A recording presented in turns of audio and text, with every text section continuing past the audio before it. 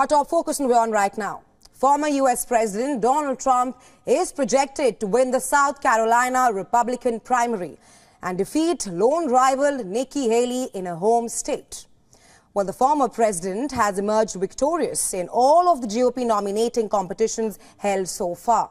He says he has never seen the Republican Party as unified as it is right now.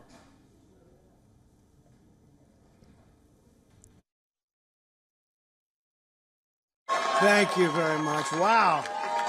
That is really something. This was a little sooner than we anticipated. It was an even bigger win than we anticipated. And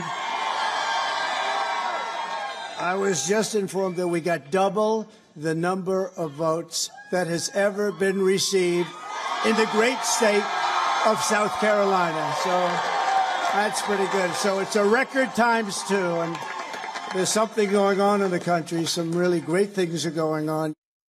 There were 50 delegates up for grabs in South Carolina, and this win has brought the Republican frontrunner one step closer to securing the 1,215 delegates that he needs for the presidential nomination. The competition was open to all registered voters but anyone who voted in the state's Democratic primary was not allowed to participate. Well, Trump is now even better positioned heading to Super Tuesday as he continues his unbeaten streak. This victory has multiplied his likelihood to succeed in the 15-state voting bonanza on March 5th. But this defeat on a home state has left Haley to consider her dwindling options. Her already struggling campaign is now likely to face renewed pressure.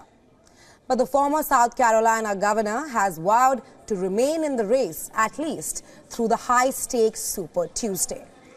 As she addressed the supporters post her crushing defeat, Haley continued to, pace, to place all her bets on the argument that she is best poised to win over Biden in November.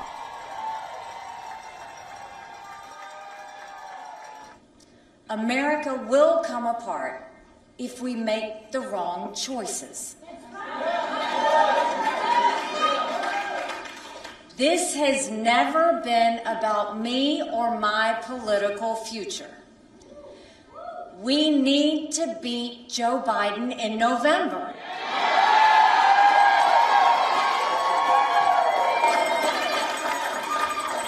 I don't believe Donald Trump can beat Joe Biden. While Trump has an iron grip on the Republican base, it might not be enough to guarantee a win in November's election. South Carolina was a chance for him to show that he can expand his coalition beyond voters who are white, older and without a college degree.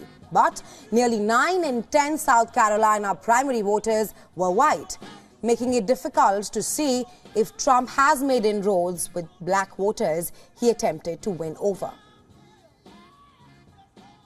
And then I got indicted a second time, and a third time, and a fourth time.